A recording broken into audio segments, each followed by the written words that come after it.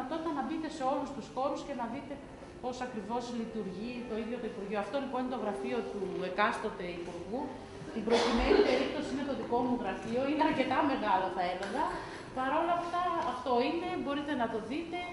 Είναι ο χώρος λοιπόν που δουλεύουμε και εργαζόμαστε καθημερινά για να κάνουμε ό,τι καλύτερο μπορούμε. Είναι πάντα συγκινητικό να δουλεύει κανείς και να ασχολείται με την πολιτιστική μας κληρονομιά σε ένα κτίριο που έκτισε ένας από τους σημαντικότερους αρχιτέκτονες των αρχών του 20ου αιώνα, ο Βιταλιάνο Ποζέλη. Το κτίριο χτίστηκε το 1891 και έχει μια εξαιρετική ενέργεια. Αυτό μπορώ να το πιστοποιήσω, γιατί δουλεύω εδώ τα τελευταία 32 χρόνια. Είναι ένα συμμετρικό κτίριο σε δύο άξονες με έθριο, το οποίο είχε τρεις ορόφους καταρχάς, αλλά το 1955 προσθέθηκε ο τέταρτος όροφος για λειτουργικές ε, ε, για λειτουργικές ανάγκες, στεγάζει δημόσιες υπηρεσίες, κατά καιρούς ανάλογα με τις ανάγκες, ε, φιλοξενούμε διάφορους φορείς, αλλά πάντα έχουμε την έκθεση αυτή μόνιμα κάτω, στα, δίπλα από τα γραφεία μας, Ίσως γιατί και εμείς χρειαζόμαστε δύναμη, είναι δύσκολο το έργο μας,